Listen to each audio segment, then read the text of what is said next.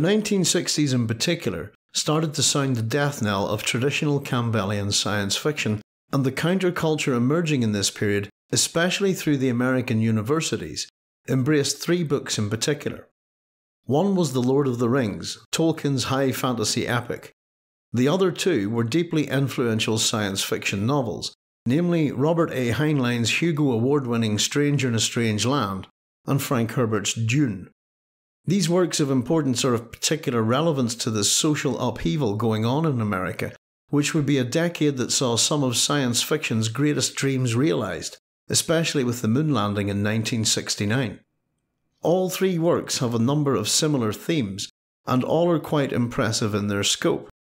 They share ecological themes, Dune more so than the others, which captured the imagination of the university underground and some have claimed even helped to spark the development of the growing ecological movement in the 60s. They also include strong messianic tendencies, though The Lord of the Rings has without a doubt the least flamboyant and imposing saviour of the three novels.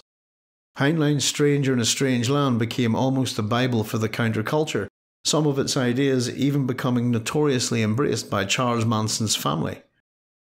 The books also shared an interest in water related themes and concepts, water often having a cleansing effect capable of defeating the evils of Middle Earth in Tolkien's trilogy. The Nazgul are, for example, first defeated by the river at the ford of Bruinen, where it swallows them up, consuming their steeds, and the armies of Saruman at Isengard are defeated by the Ents unblocking a dam and flooding the place.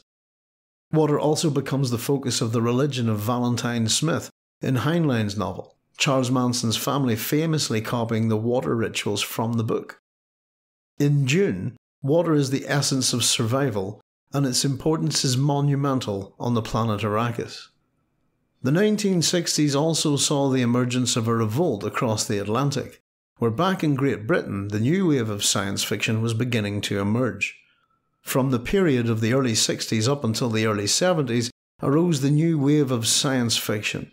It was most notably a very, though not exclusively, British reinvention of the traditional American pulp science fiction of the Golden Age. The new wave of the 60s took its name from the Nouvelle Vague movement of French cinema from the late 1950s to early 60s, and was most notably characterised by filmmakers such as Francois Truffaut and Jean Luc Godard. The new wave represented a sharp swing away from Campbellian science fiction and the upbeat conservative material produced in magazines in the United States of America, which up until this time were dominating the field. In particular, the new wave of science fiction would still carry on the magazine tradition, though at this point, science fiction writers were successfully selling their novels outside of the magazine environment. In Britain, however, it was New Worlds magazine, under the editorial leadership of Michael Moorcock, that would come to represent the new wave as a whole. Its writers, along with Moorcock, included the likes of J.G. Ballard, Thomas M. Disch, Brian Aldiss, John Clute, Harlan Ellison, and Samuel Delany, to name but a few. In America, Harlan Ellison's Dangerous Visions also had significant impact, but the new wave belonged mostly to British writers. American writers would often use the vehicle of New Worlds to publish work that was seen as unpalatable to the American publishing houses and magazines. As a literary force, the new wave was not localised to the United Kingdom, but as a publishing phenomenon, Great Britain would be its home. In saying this, New Worlds was itself not a product of the late 60s and early 70s, having had its first publication way back in 1946. Plans had existed to publish it beforehand, but World War II intervened and put it on hold for a while, as a number of its potential early writers entered the war effort. However, the magazine did not truly emerge with its new ethos until the early 1960s, when Moorcock declared its intent to publish work by both new and established authors which could not find a home anywhere else. Moorcock was primarily a fantasy writer as opposed to science fiction at the time, and had himself published in New Worlds and Science Fantasy, which under the earlier editorship of John Carnell had been publishing work that he felt should be well written and have ambitious themes. Moorcock himself believed that it was in science fantasy that some of the first new wave material appeared in the late 50s. Moorcock began working as editor for New Worlds in 1964, following the purchase of the magazine and its sister product Science Fantasy by David Warburton of Roberts and Vinter, and the subsequent retirement of John Carnell. New Worlds, along with its various other sister publications, had found themselves struggling under bad sales and circulation during the early 1960s, and it was Warburton who stepped in to purchase both magazines from Nova Publications, the magazine's previous owners. Roberts and Vinter were looking to break into a more established, literary, and respectable form of publishing, having previously published adult magazines, and felt that these products were perfect, bringing on board Kyril Bonfiglioli as editor for Science Fantasy and a 23 year old Moorcock for New Worlds. Writers and artists severely dissatisfied with the way science fiction had been developing in the USA and who wanted to produce experimental work would find a home at New Worlds, and over the next few years would produce some of the most unorthodox and experimental science fiction that was quite contrary to the established mode of Campbellian science fiction across the Atlantic. As Moorcock wrote, it would specialise in experimental work by Burroughs and artists like Losey, but it would be popular. It would seek to publicise such experimenters. It would publish all those writers who have become demoralised by a lack of sympathetic publishers and by baffled critics. It would attempt a cross fertilisation of popular science fiction, science, and the work of the literary and artistic avant garde. The new wave held a particular distaste for the American pulp science fiction era typified by the ideas spearheaded by John W. Campbell, but in addition to this, it also wanted to see a new mode of science fiction literary criticism, especially other than that presented by the likes of Kingsley Amis. Moorcock's continuing disgust at what he saw as almost a death knell of science fiction from the USA was often vocally and publicly made apparent, as was his loathing of Amis's work. As he pointed out once, science fiction has gone to hell, and Kingsley Amis is mapping it. I believe that we needed more rigorous criticism to seek definitions of the forms we were working in, since we were all somewhat confused. I find, for instance, the science fiction criticism of Amis, Crispin, and Conquest condescending, fatuous, and weary, characterized by a kind of hearty complacency and defiant philistinism. It had a blousy air to it, it was no better than the pieties of Sunday newspaper lead reviewers, which had in common the atmosphere of the social club, the saloon bar, the locker room.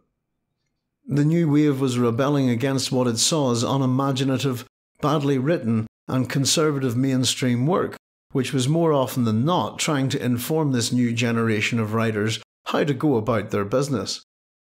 In that sense, the new wave was not only developing its stylistic and thematic elements through their own sense of innovation, but also through their strong reactionary and almost hostile dislike for the very kind of fiction in this milieu that they despise so openly. The likes of Robert Conquest, Edmund Crispin, and Kingsley Amis were seen to be openly condescending, urging that science fiction was a genre and its writers should accept the limitations of it as such. It was shocking to be condescended to by Robert Conquest, to be taken aside by Edmund Crispin and told over some gin or other that all our ideas had been tried and found wanting in the 1920s, that the appeal of the science fiction genre was that it was a genre fulfilling, like the mystery story, certain acceptable genre expectations. Amis, with his lazy paradoxes, reviewed the first issue of New Worlds we produced by referring to Burroughs as not the far more interesting and imaginative Edgar Rice, but the boring William. The new wave, in fact, relished the works of William Burroughs, Allen Ginsberg, Jack Kerouac, and in particular Mervyn Peake. As it began to make its mark on the genre, it found that it was in fact alienating some of its older audience, while at the same time attracting a new readership. The American Campbellian Old Guard, the likes of Conquest, Crispin, and Amis, as well as the likes of Brian Aldiss, were openly critical of the magazine's content although others such as Judith Merril would provide much praise for the magazine. New Worlds would ultimately see a rejection of the technocratic forms of American science fiction, moving away from the rocket ships, H bombs, laser guns, and Supermen that so typified the Golden Age era, to produce a more inward looking, reflective form of science fiction which would be better termed as speculative fiction rather than science fiction. It was J.G. Ballard whose work was seen as the backbone of New Worlds by Moorcock and one of the guiding lights of the new wave, who typified this idea, in that he firmly believed that science fiction needed to turn away from outer space and look to the inner space of the human psyche. The 70s would begin as typically downbeat in science fiction, with again films and literature depicting disastrous futures and ecological nightmares. The end of the 70s would also see a surge in the big budget science fiction movie, culminating with the likes of Close Encounters of the Third Kind and Star Wars. These films were also attempts to get away from the downbeat negativism pervading the general consciousness, especially in the United States following the end of the Vietnam War. Science fiction movies would begin at this point to more and more shape the public's perception of science fiction, increasingly requiring excessively extravagant budgets to push the envelope on what is technically possible in the medium. The huge canvas created in the cinema was the antithesis to what the New Wave was trying to achieve in its literature. I believe this was very much responsible for the turning away from the inner space concepts of that particular time and creating a resurgence in the general public's mind for huge concept science fiction in outer space. Frank Herbert's Dune series can be viewed as both a product of the latter days of the golden age of science fiction and a work in a similar subversive mode of the new wave that followed. But in saying that he is part of the new wave would be remiss, as I feel his influence, especially that of Dune, was the spur that set this new tradition on its way with a newfound confidence.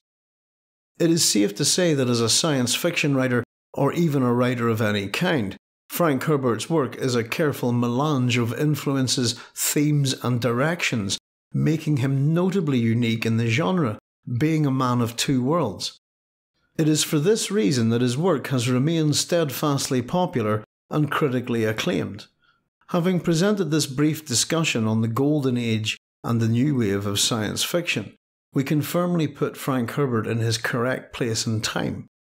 Beginning his tenure as a science fiction writer towards the mid 50s, although having published prior to this, it was really the early to mid 1960s that began to see his influence grow.